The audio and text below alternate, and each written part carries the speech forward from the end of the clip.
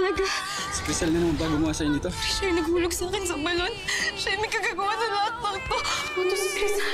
Pwede ba? Tumigil ka na. Kita ko na ang katotohanan. Magsalita ka. Sino ka?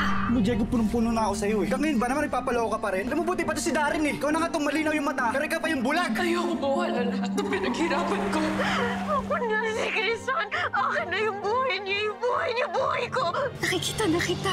Ikaw si Crisel. Ikaw si Crisel. Siya yung kakabal ko na. Itong ginagawa mo, malito anak. Hindi dapat. Hindi niyo mo ba nakikita? Ako na may-ari katawan. Katawan na ng kapatid mo. Kung hindi niyo lang din ako hayaan gamitin yung katawan to, sisiguraduhin kung wala nang ibang makakagamit nito.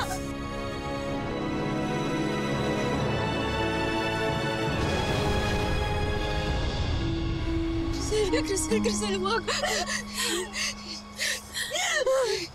Sige, lumapit kayo. Subukan niyo lumapit na dalaki dugo ni Crisel dito. Crisel! Huwag mo sasaktan yung katawan ng kapatid mo. Is, nakikiusap ako. Ako ba yung nasaktan? Nung ako ba yung namatay? Nagparaya ka ba, Crisel? Di ba hindi naman? Ito na lang yung kaligayahan ko. Kukunin niyo ba sa akin? Pwede ko lang ibalik yung panahon. Gagawin ko, ililigtas kita. Ako pwede ko lang talaga mabalik yun. Gagawin ko yun, anak. Ililigtas kita. Papa Namdi, basta mo na mo lang gawin to. Hindi totoo yan! Si Crisan lang naman ang mahal niyo. Si Crisan naman lagi ang iniisip niyo. Puro kayo, Crisan! Hindi niyo ba alam kung gano'ng kasakit sa akin yun? Puro na lang si Crisan! Sobrang sakit na eh! Totoo yan. Hindi totoo yan, anak. Hindi mo ba narinig, ha? Comatose na nga yung tao, ha? Pwede ba? Ano ba? Ano pang gusto mo? He's parang like dead na, no? Ayoko ng mga parang he's like dead na, no? Gusto ko patay. Wala nang chance mabuhay. Deads. Ano ba? Tantagan mo na yung tao, no? Hoy, hindi ko tatantanan yon Dahil ang kaaway ko dito si Alan. Si Geraldine nga hindi ko pinapatira sa'yo. Dinamay-damay mo pe. Tutal ikaw naman ang dahilan kung bakit nakoma yung taong yon. Patay mo na! Hoy, hindi kaya ako mamamatay tao, no? Galit lang ako nung time na yun. Ito tayo eh. Double standards ang kasama mo eh.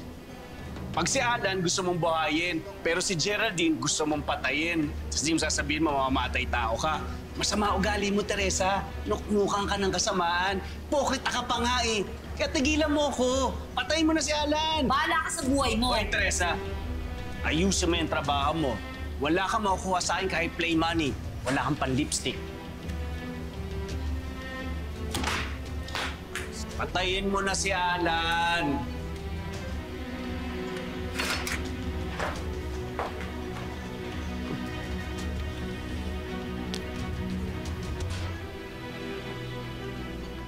Crisel.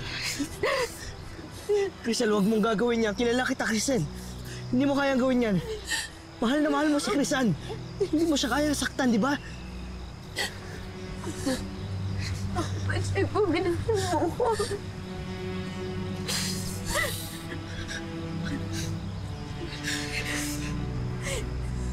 Minahal mo ba ako, Diego?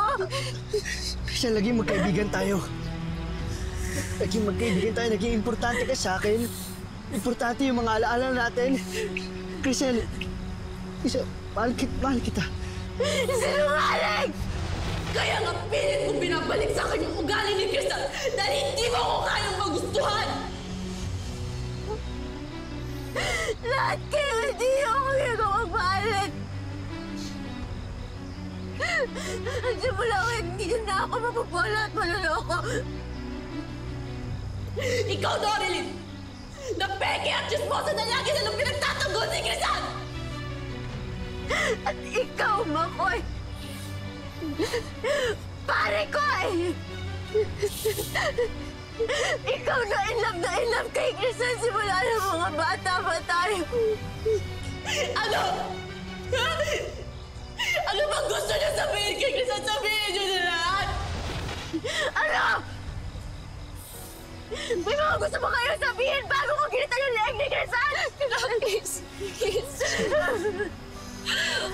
Crisan, bitawan mo yan! Please, wag. Nakikiusap ako sa'yo, bitawan mo yan. Crisan, nakikiusap ako sa'yo, kambal ko, bitawan mo yan. Crisan, nakikiusap ako sa'yo, kambal ko, bitawan mo yan. Malahimik ka! Ang swerte-swerte mo, Crisan! Hindi mo alam kung gaano ko kaigi sa'yo. Pero wala kang alam. Kasi sarili mo lang lagi iniisip mo. Hindi totoo yan. Kaya pilit mo inaagaw sa akin yung katawang to. Crisan! Crisan, hindi totoo yan. Alam mo, hindi totoo yan, Crisan.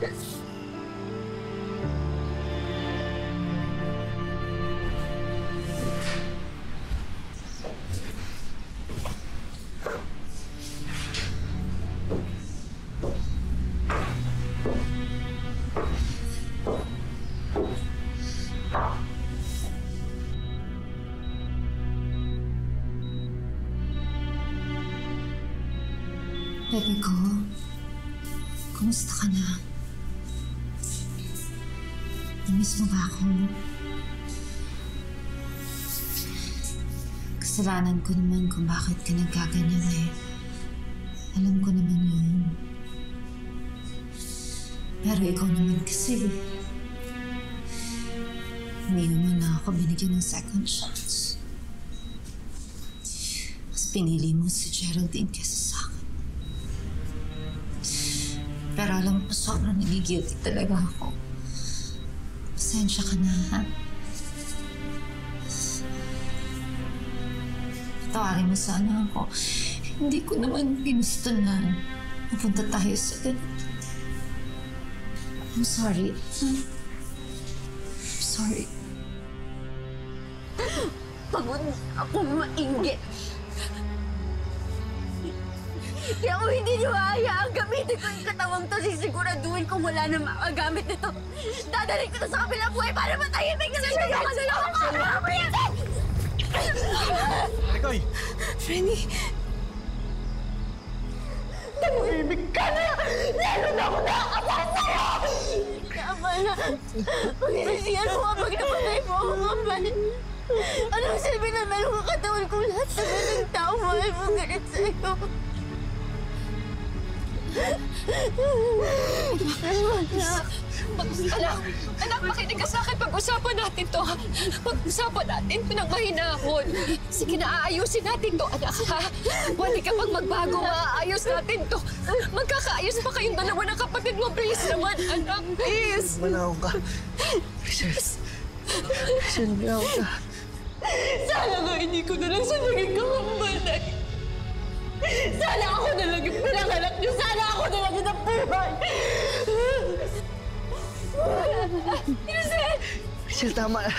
Anak, please, ayoko nang may mamamatay kahit isa sa inyo. Mahal ko kayong dalawa. Mahal ko kayo.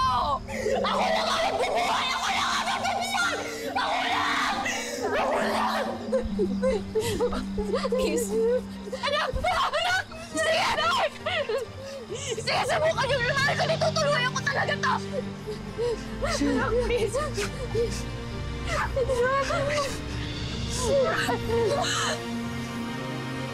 Rachel! Sa initial na investigation namin, mukhang nawala ng prelo ang kotse ni Mr. Magpantay. Kaya sila na-aksidente.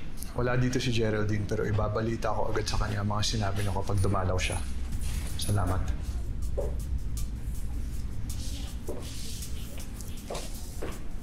Teresa, anong ginagawa mo dito?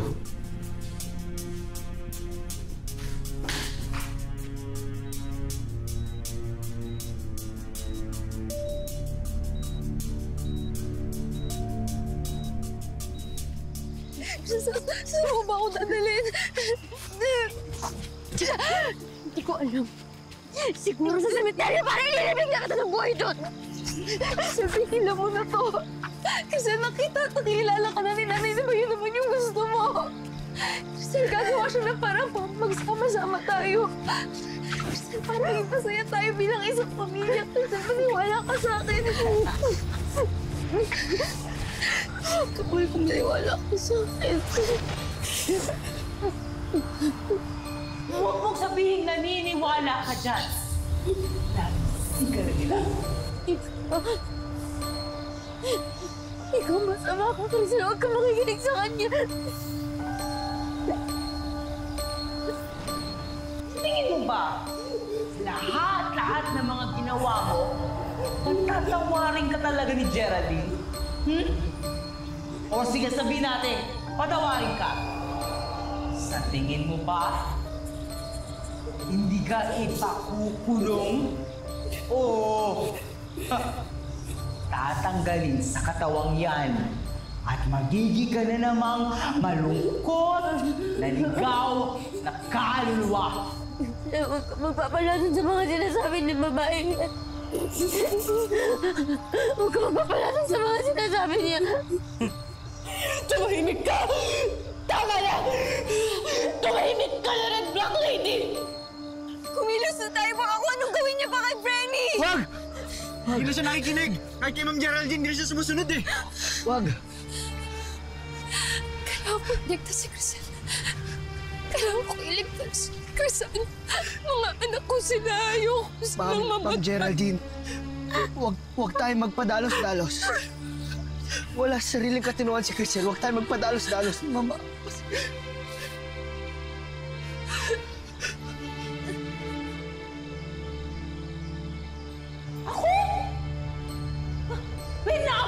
Pinapatahimik mo? Ako na tanging kakampi mo, Criselda! Ako na tumutulong sa'yo, Criselda! Ako ang may silbi!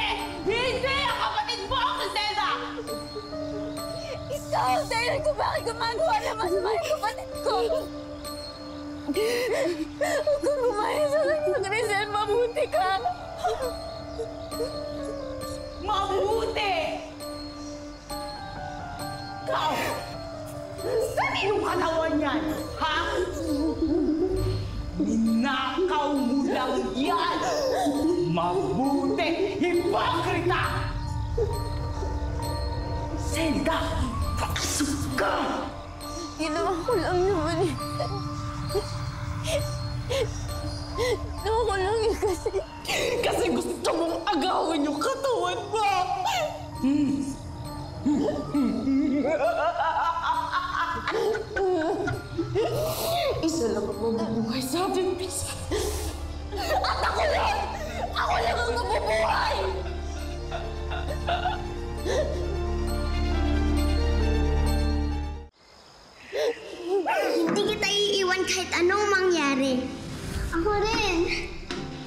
Walang iwanan. Ikaw yung kakambal ko. Ikaw yung kakampi ko. Crystal, mahal kita. Mas mahal kita, Crystal. Kahit hindi mo kita mayakap, mahawakan, ipaparamdam ko naman sa'yo kung gaano kita kamahal. Kaming dalawa, magkaibigan, magkapatid, walang iwanan. Text, mat.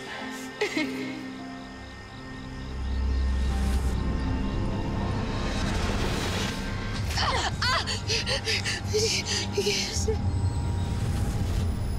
Ako tapos sa'yo, Crystal. Crystal! Crystal! Crystal! Rigoy,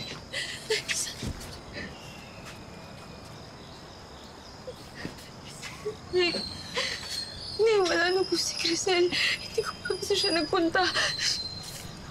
Sinaktan ka ba ng kapatid mo, ha? Ayos lang ko ako na eh. Ay, muti ko na humakumbi si Crisel na magkaayos kami. Nagugulan na po yung kapal ko, pero, pero may pag-asa po ko. Magbago si Crisel. Ang importante, ligtas ka. Dahil hindi ko mapapatawad ang sarili ko kung may nangyaring masama sa'yo na hindi man lang kita nayayakap. Krisa, sorry ah. Sorry kung di ako naniwala sa'yo. Sorry. Kasi di ako agad naniwala eh. patawarin mo sana ako. Nay, paano niyo ako nakilala? Paano niyo nakita kami dalawa ni Crisel? Pinabukas ko yung third eye ko. Kaya ako nalaman yung katotohanan. Ko pa ito ginawa. Di sana. Sana buhay pa si Lola Anisha. Nay, tahan na po. Sigurado naman po ako naniintindihan po kayo ni Lola Anisha. At hindi ako nagtanin masama ng loob sa inyo dahil mahal na mahal ko kayong dalawa ni tatay. Sobrang saya ko po din nakikilala niyo na po ako ngayon.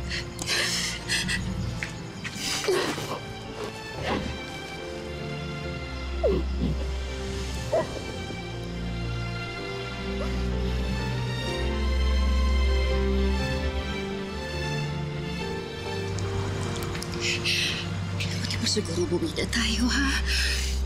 Kailangan mo magpahinga. Buwi na tayo. Magpahinga na tayo lahat. Ma'am, ihanda ko lang po yung sakyan. Sumama na po kayo. Sir Darren, kayo rin po.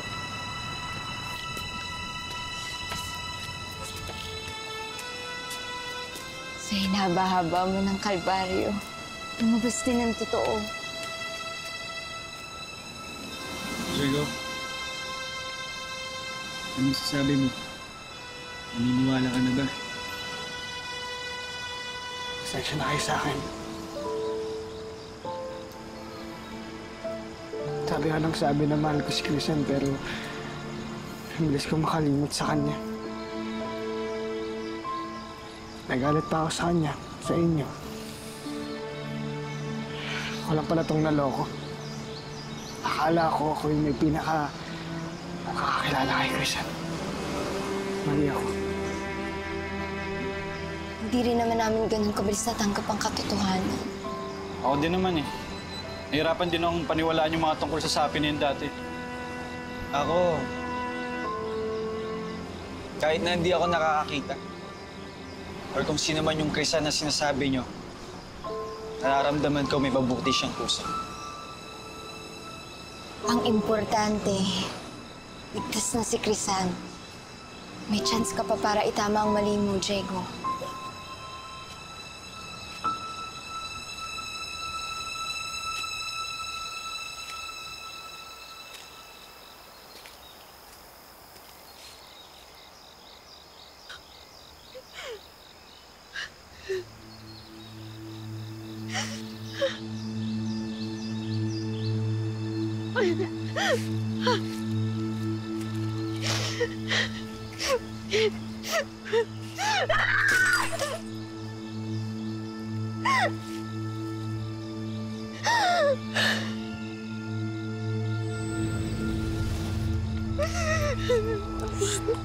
Palaran nga naman ano.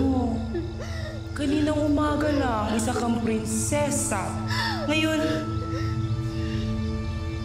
Wawa ka naman, Criselda.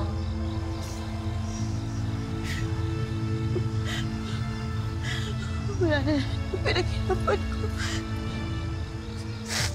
Wala na si Diego, wala na yung buhay ko. Buwisit ka talaga, Crisan! Pero, nasa iyo pa rin naman yung katawan niya. Nasa iyo pa rin yung alas. Gusto-gusto niya.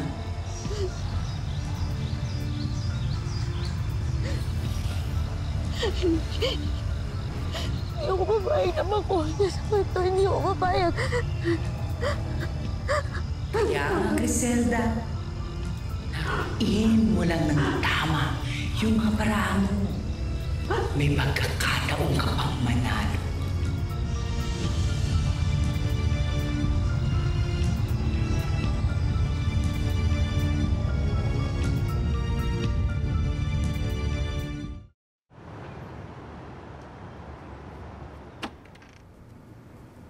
Halika, pasok kayo. Maupo muna kayo, ha? Maghahanda lang ako ng mga kain. Tingnan ko kung anong meron dito. Salamat po talaga, Nay. Nuri, Sir Darren, Koy. Diniwalaan niyo ako, pinigyan niyo ako ng lakas ng loob, kaya hindi ako sumuko. Wala yun, Frenny. For better, for worse, and for the truth. Friends tayo forever. Marigoy, masaya ako na nakabalik ka na sa pamilya mo. Pero sana makabalik ka na rin sa katawan mo. Tiwala ako kay Crisel mo, Koy. Matatauhan din siya at maayos din ang lahat. Mahalaga, ligtas ka na. In case na kailangan mo kami, dito lang kami. Geraldine. Ah, pwede ko po ba makausap si, Ch- si Crisan ng kaming dalawa lang? Kung okay lang po sa inyo.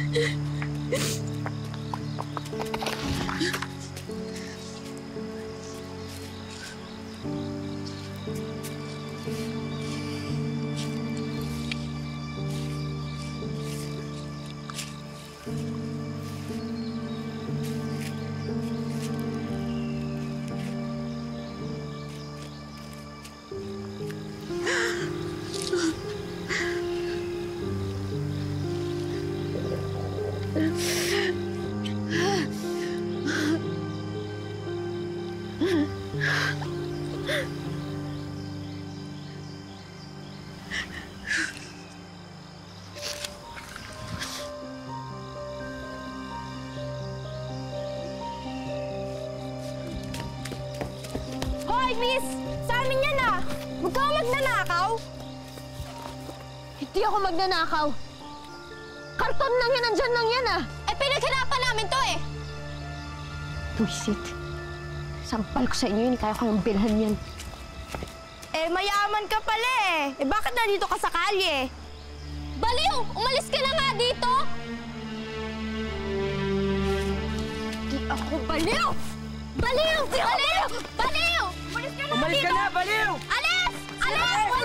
Baliw! Umalis ka na nga! Umalis ka na! Alis! Umalis ka na! Alis! Sira ulo! Ba sinabing umalis na? Sira sa utak! Alis! O, di pa alis ano? Bilisan mo!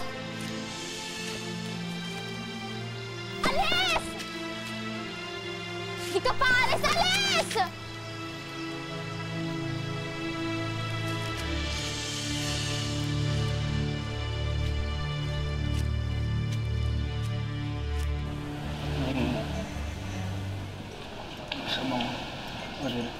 Gusto mong sabihin?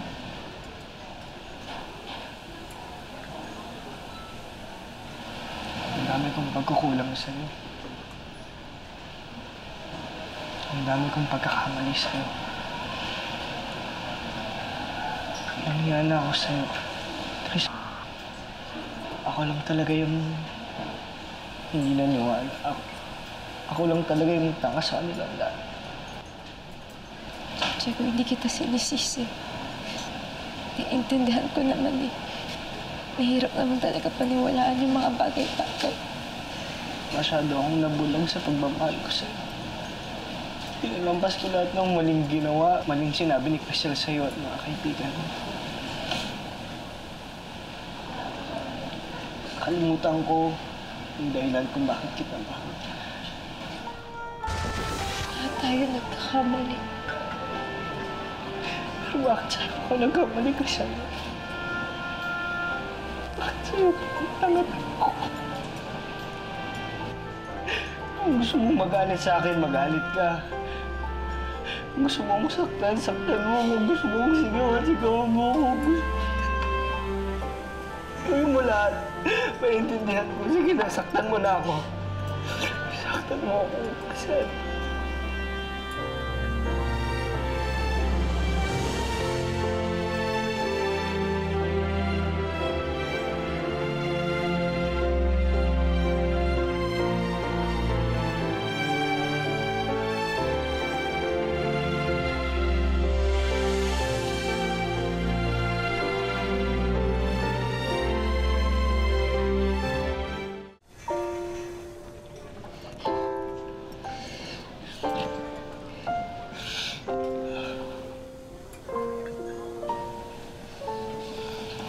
Sabihin, di pala ikaw yung sumagot sa akin. Ibig sabihin, hindi pa pala talaga tayo. Ako kasi na-excite, Jeko. Nakalimutan mo na yung deal natin. Diba, sabi ko sa'yo, pwede lang maging tayo after graduation. Ibig sabihin, marami pang panahon para makabawi ako sa'yo. Napatunayan ko sa'yo na deserve ko pa rin yung popo mo pagkatapos ng graduation.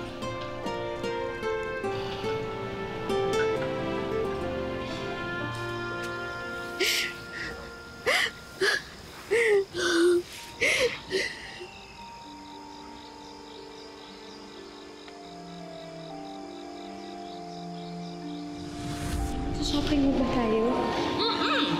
Lahat ng gusto mo, bibili namin para sa'yo. Yes. Lahat ng gusto mo kahit ano.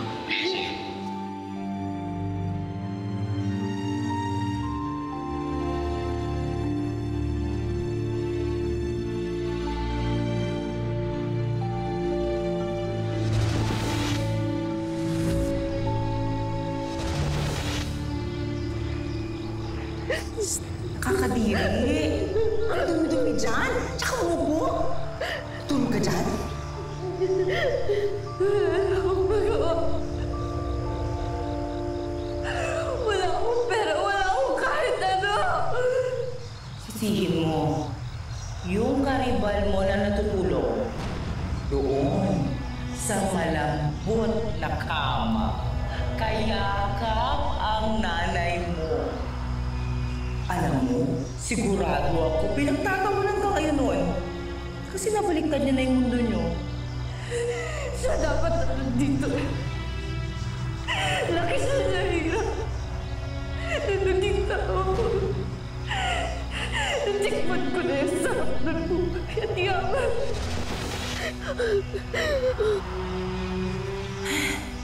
Reklamo, reklamo, reklamo. Pero, laging may solusyon. Ang mawala yung kapatid mo sa buhay niyo. Para ikaw na lang ang mamahalin ng nanay mo. Para ikaw lang ang nag-iisang anak. Ano kaya yung pwede mong gawin? Mag-isip ka.